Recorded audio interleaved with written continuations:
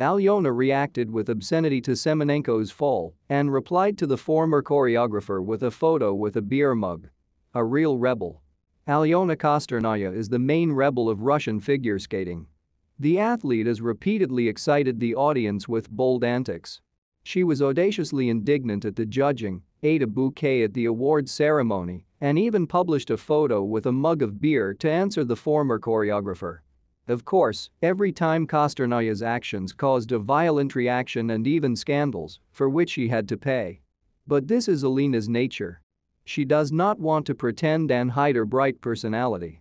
Being like everyone else is too boring for her, and she does not intend to adapt to generally accepted norms. We recall the most daring antics of an eccentric figure skater.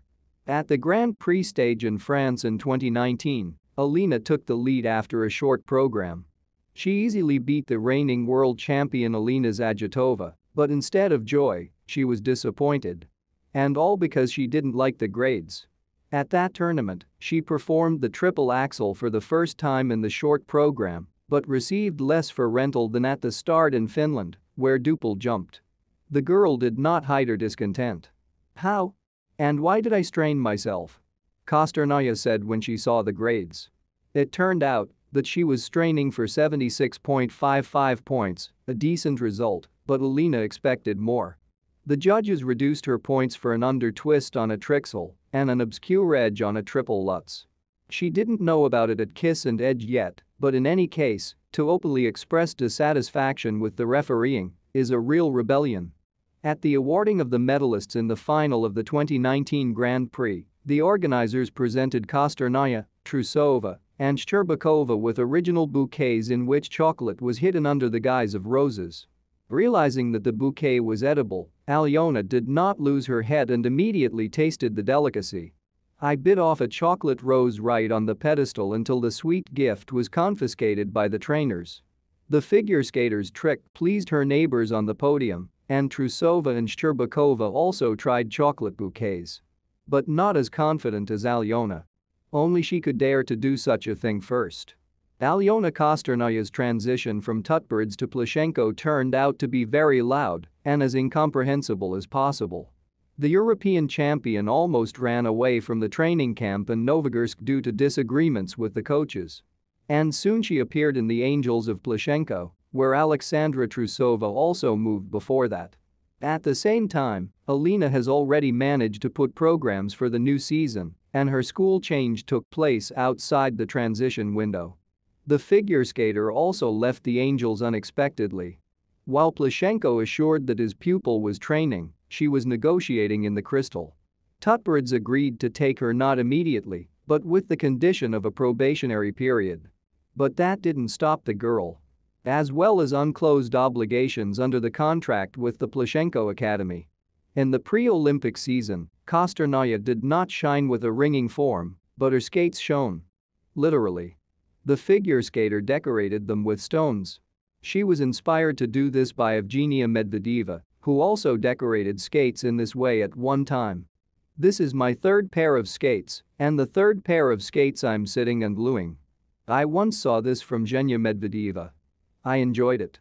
And I thought, why not do it? No one did, except Zhenya, Kostornaya shared with Channel 1 after the Russian Cup stage in Kazan. Alyona likes to be creative and with makeup at competitions. In the Olympic season, she surprised everyone with makeup with huge gold and blue sequins on her face, resembling freckles. With them, she skated an arbitrary program under Billie Eilish. In less than a year, Kostornaya managed to dye her hair pink, purple, return to its natural color, and then try red, and even get a red mane, which not everyone appreciated. However, Alyona did not pass with a red mop for long.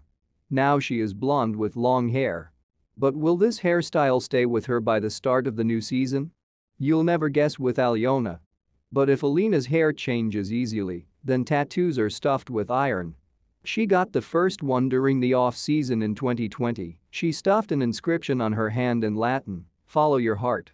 Later, she got two more tattoos, an image of a fox over her ear and the inscription lovely on her collarbone. Alyona told about the reasons that prompted her to get tattoos in the evening Urgant program. Life is finished.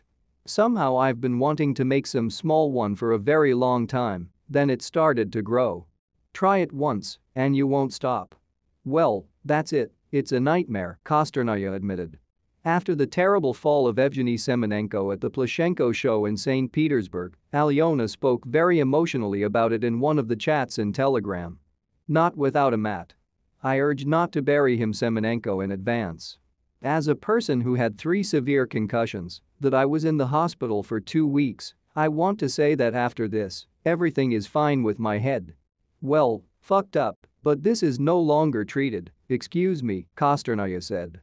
It was assumed that a limited circle of people would see the video with Alyona's emotional speech, but it got on the internet for everyone to see. The video was posted for the people with whom I communicate, and we can all express our thoughts in a colorful way in a familiar environment. I'm sorry that it got on public display, given the huge amount of obscene language there. It's a pity that I believed and trusted people who eventually do this, Kostornaya explained. Alyona found an original way to respond to the criticism of the choreographer of the Tutberidze group Alexei Zheleznyakov. In an interview, the specialist said that she needs to work, not turn her tail.